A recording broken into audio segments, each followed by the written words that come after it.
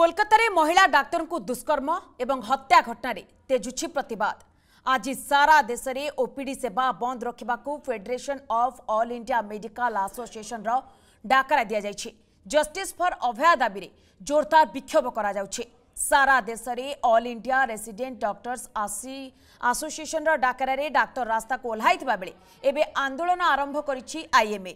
ଗତ ସପ୍ତାହରେ କୋଲକାତାର ଆର୍ଜି ସରକାରୀ ମେଡିକାଲ କଲେଜରେ ଏକତିରିଶ ବର୍ଷିଆ ମହିଳା ଡାକ୍ତରଙ୍କ ସହ ପାଶବିକ ଅତ୍ୟାଚାର ପରେ ହତ୍ୟା କରାଯାଇଥିଲା ଘଟଣାର ନିରପେକ୍ଷ ତଦନ୍ତ ଦୋଷୀ ବିରୋଧରେ କଠୋର କାର୍ଯ୍ୟାନୁଷ୍ଠାନ ଏବଂ ଡାକ୍ତରଙ୍କ ସୁରକ୍ଷା ଦାବି କରୁଛି ଆଇଏମ୍ଏ ଶବ ବ୍ୟବଚ୍ଛେଦ ରିପୋର୍ଟରୁ ହତ୍ୟା ପୂର୍ବରୁ ଡାକ୍ତରଙ୍କ ସହ ଦୁଷ୍କର୍ମ କରାଯାଇଥିବା ସ୍ପଷ୍ଟ ହୋଇଛି ଅଭିଯୋଗରେ ଅଭିଯୁକ୍ତ ସ୍ୱେଚ୍ଛାସେବୀ ସଞ୍ଜୟ ରାୟଙ୍କୁ ଅଗଷ୍ଟ ଦଶ ତାରିଖରେ ଗିରଫ କରାଯାଇଥିଲା କୋର୍ଟ ଅଭିଯୁକ୍ତଙ୍କୁ ଚଉଦ ଦିନିଆ ପୋଲିସ ହେଫାଜତକୁ ପଠାଇ ଦେଇଛନ୍ତି ରାଜ୍ୟ ସରକାର ମାଜିଷ୍ଟ୍ରେଟ୍ ସ୍ତରୀୟ ତଦନ୍ତ କରୁଥିବା ବେଳେ ମେଡିକାଲ କଲେଜ ପ୍ରିନ୍ସିପାଲ ଇସ୍ତଫା ଦେଇଛନ୍ତି ଏଗାର ଜଣିଆ କମିଟି ମାମଲାର ଯାଞ୍ଚ କରୁଥିବା ମମତା ସରକାର ଦାବି କରୁଥିବା ବେଳେ ରାଜ୍ୟ ବିଜେପି ମଧ୍ୟ ସିବିଆଇକୁ ମାମଲା ହସ୍ତାନ୍ତର କରିବାକୁ ଦାବି କରିଛି ମମତା ସରକାର ମାମଲାକୁ ଗୁରୁତର ସହ ନେଉଥିବା ପଶ୍ଚିମବଙ୍ଗ ବିଜେପି ଅଭିଯୋଗ କରିଛି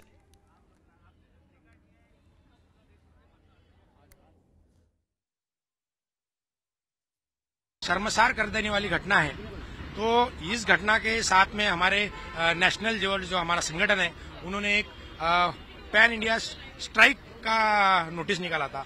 वो स्ट्राइक में हम सारे बाकी स्टेट्स के लोग उत्तर प्रदेश यूपी बिहार, छत्तीसगढ़, बंगाल और कश्मीर, ऐसे हर स्टेट से लोग वहाँ पे हर जगह पे अपना आंदोलन पे बैठे हुए हैं। महाराष्ट्र में आज सारे मेडिकल कॉलेज, सारे निवासी वैद्यकीय अधिकारी, वो आज से काममान आंदोलन पे है।